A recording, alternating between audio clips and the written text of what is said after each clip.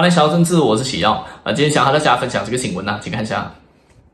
看了这个新闻呢，至少我们可以得知一个重点，也就是 GISB 创办人之女呢，承诺从今以后会从善如流，不再追随奥尔根主义。OK，其实这次的访谈呢，还有非常多的重点，这支影片我就和大家稍微分享一下了。OK，我们聊到刚刚的那个重点了啊。这句话代表什么意思？代表着呢，在之前各个州属，包括王室啊，去把 GISB 定调为是异端组织的这一个名号啊，包括雪兰莪、波利士，像是马六甲，今天创办人子女通通承认啊，他们也承认奥尔根主义就是这个异端组织。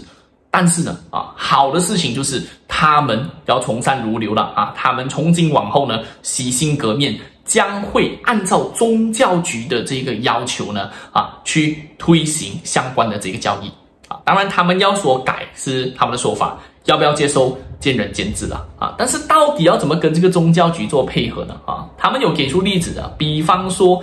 啊，他们其实就开始去上了宗教局的这个课啊，五百个小时的这个呃这个课程啊，开始慢慢的啊矫正自己的这个思想和关于宗教的一些认知。除此之外呢，啊，其实宗教局也是把他们监督的非常的啊严谨啊哈，时时刻刻呢啊都在关注着他们的这个一举一动，所以。在这里，这个创办人子女也向大家保证哈，其实呢，啊，我们是不会乱乱来的。你看啊，我们一切都受到这个宗教局的这个规范啊。那最后一个重点就是呢，他也表示，其实啊，他们在之后想要更加的专注于这个商业的活动，所以呢，啊，希望这一个东西呢，可以慢慢的回归到这个正轨上啊。OK，so 听到了这几个重点呢。我相信大家想的应该跟我不会差太多啦。啊，也就是你承认，然后你道歉反省是一件好事，应该给予肯定。但是事情有没有这么容易的啊，就可以返回正轨，返回商业活动呢？啊，我相信有关当局是不会那么啊轻率的就那么过的。OK，毕竟这次 GISB 的这一个课题，其实牵涉的范围跟严重程度实在是太大太广了。比方讲啊，之前的这个孩童的啊，关于寄钱案，其实这个案件还没有处理好。如果你讲到商业的部分啊，包括税收的部分，似乎啊也是有很多的这个疑团等这一点一点的啊被挖掘啊。还有一点就是呢，虽然现在这一个哈类似于负责人其实是跟大家承诺了啊，他们将会要从善如流，不过。诶，其他的这一些信徒长期以来跟随着这个奥根主义的这一些呃人啊，他们能不能直接做到啊？那我们又怎么确保啊？他们其实真正的啊是有放弃追随这个教义呢？这些事情都有太多值得探讨跟慢慢去研究的这一个部分，所以我会认为说这次的这一个呃访谈，实则上是一个。我觉得还算有担当的一个访谈，至少他愿意承认，他愿意反省，但是事情肯定不会那么容易就结束的。OK，那除了这些重点之外呢，其实啊，GISB 也是有提出他们的一些疑问跟疑虑的啊，当中有两点。那第一点就是呢，其实啊。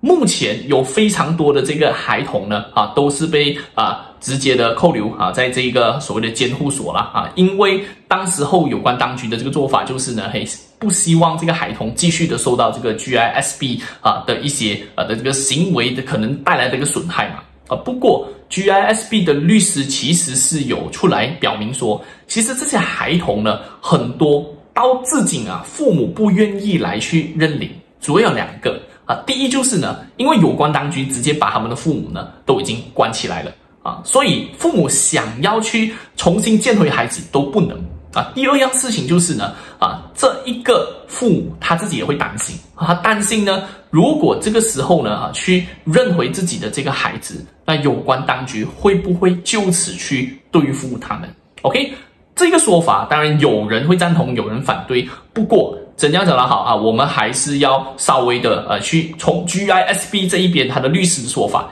给大家啊，其中一个面向了啊，也就是有关当局到底要怎么去处理啊这一些被啊目前在这个监护所的这些孩子。